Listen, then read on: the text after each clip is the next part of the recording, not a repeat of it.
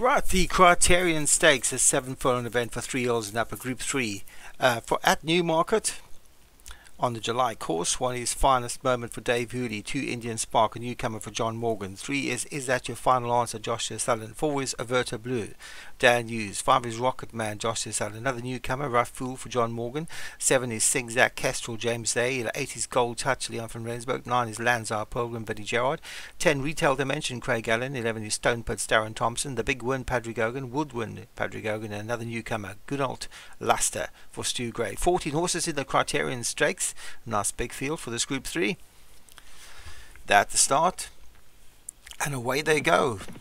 Uh, slowly away, James uh, Chase horse sings that Kestrel, but quickly away Retail Dimension. As Retail Dimension, who's been passed now by Rough Fool, and the John Morgan horse Rough Fool goes to the front, but quickly joined by Is That Your Final Answer? In between horses is the big answer.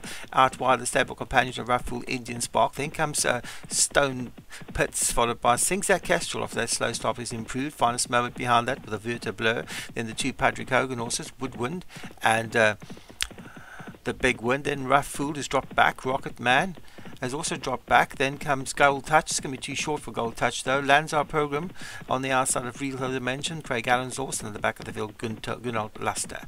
So is that your final answer leads for Joshua Sullivan, but on the inside Stone Prince is moving closer for for Darren Thompson. Indian Spark is out wide. Then comes uh, Dan Hughes of Verta Blue, also running on now is Woodwind. They've got two furlongs left to travel. Is that your final answer? Kicks for home with a Verta Blue up the inside.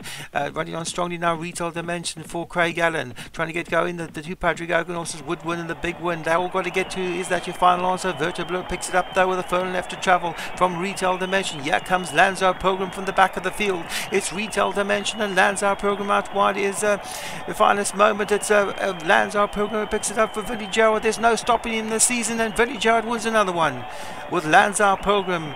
Vinnie Gerard, another winner for him. No stopping him this season. He looks nailed on for the trainer title.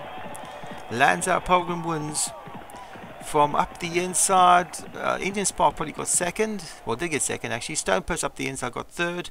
Uh, Rough Fool for John Morgan was back in fourth, and the big win was back in fifth for Patrick Hogan. Good run by the newcomers, but they had no, they couldn't match Vinnie Gerard's Lanzar Pilgrim, who wins the Criterion Stakes.